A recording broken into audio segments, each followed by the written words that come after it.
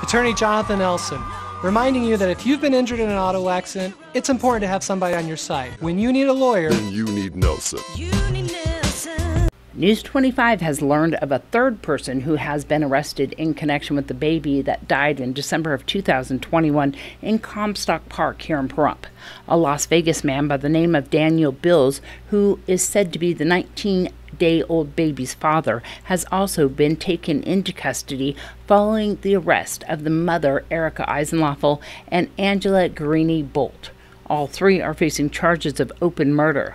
The Nevada Department of Investigation is in charge of the case, which includes child abuse and neglect.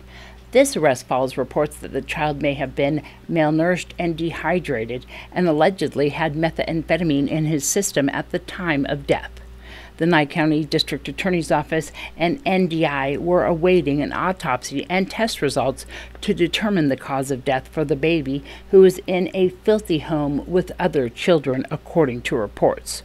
Authorities also had contact with other individuals inside the home on several previous occasions, according to authorities.